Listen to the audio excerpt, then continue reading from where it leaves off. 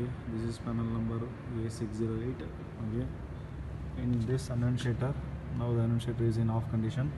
So the watchdog contact is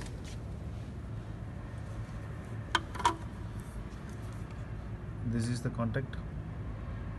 Mult 1 mult 2 this one okay. So now we make continuity for our multimeter. So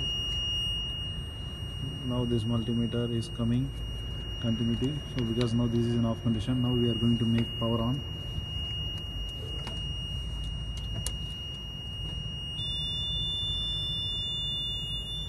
Okay now the annunciator is on.